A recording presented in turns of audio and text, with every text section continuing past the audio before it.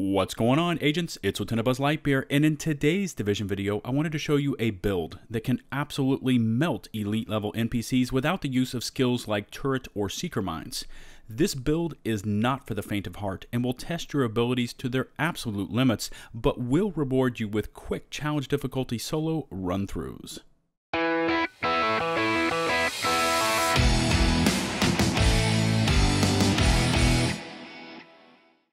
After posting my last two build guide videos, I received several comments from subscribers asking for something a little more gun-centric in comparison to the electronics heavy builds I had posted. In response to those requests, I present a DPS heavy gun centric build that was voted on and named by my Twitter followers as the Solo Striker, and it is the best PvE Elite NPC shredding build that you can assemble in Update 1.6.1. Without wasting any more time, let's jump right into the gear pieces starting off with the body armor. Since this build is built around the Striker's battle gear, I have chosen the Striker's harness for my chest piece rolled in firearms. Major attributes include enemy armor damage and a large health roll, along with 52% ammo capacity, and do not underestimate the need for extra ammo with this kit, as you will constantly be firing your primary weapon. Both of my gear mods are firearms mods rolled for additional health. For this build, I am using the Striker's Mask with Stamina as the primary role along with 5% health on kill and blind deaf resistance. I needed this gear piece rolled in Stamina to unlock some of my primary weapon talents, but more on that later. My gear mod is once again a firearms mod rolled for additional health. My third piece of Striker's battle gear are the Striker's knee pads rolled in firearms with a near perfect additional health roll as the major attribute. In addition, these knee pads have 14% damage to elites which is extremely useful when attempting challenge difficulty missions. A firearms gear mod rolled for additional health along with a 6% first aid self-heal performance mod round out this gear piece. I chose the backpack of the Nomad, recalibrated for a firearms primary attribute, and unfortunately I was not able to recalibrate the stability major attribute for something more useful like additional health. I am once again using a firearms gear mod rolled for additional health along with two 6% first aid self-heal performance mods.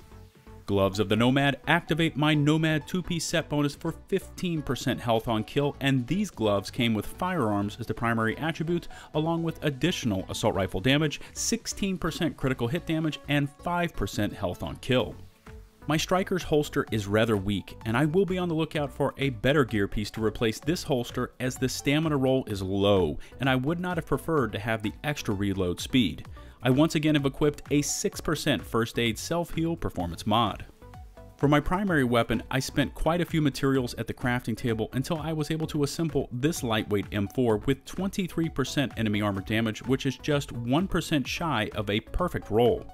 I paid special attention to the weapon talents and more importantly where they appeared on the weapon as it was important that they roll in this order.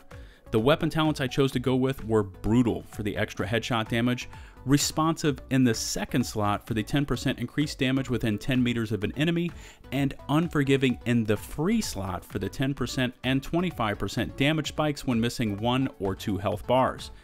It was extremely important that I get Unforgiving in the third or free slot, as it would normally require a stamina roll of 4,791, and I did not want to spec so heavily into stamina in order to unlock it.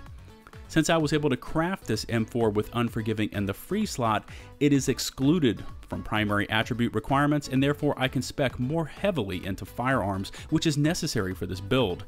Responsive only requires 2,875 in stamina and was ideal for my second weapon talent slot. Weapon mods include a 120% extended magazine with critical hit damage and reload speed, 12 times headshot damage scope with critical hit chance and damage, 18.5% headshot damage suppressor, and a critical hit damage small grip. You will occasionally see me switch over to my secondary weapon, and I just wanted to briefly touch on my crafted MP7. It has a decent 22% critical hit chance along with Destructive, Brutal, and Unforgiving. Destructive was unfortunately unlocked for this video as the stamina requirements were just a bit too high. Mods include a 120% extended magazine with reload speed and rate of fire, critical hit damage scope, critical hit damage loud vent brake, and an optimal range vertical grip. This MP7 was not built for this build and will be featured in an upcoming video.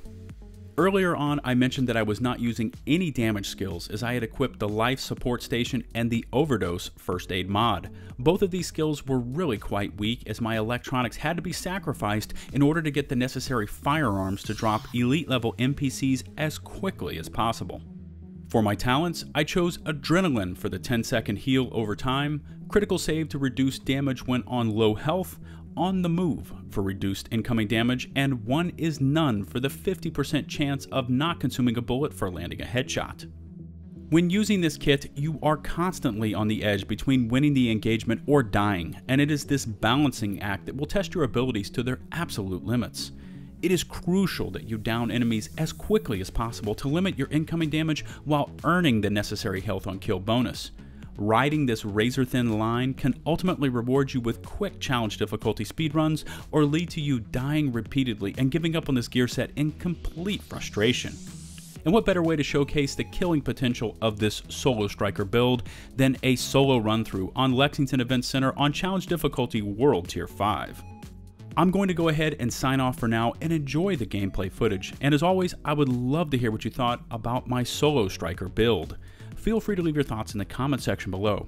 In addition, if you could take the time to rate the video with a huge thumbs up, it would be greatly appreciated.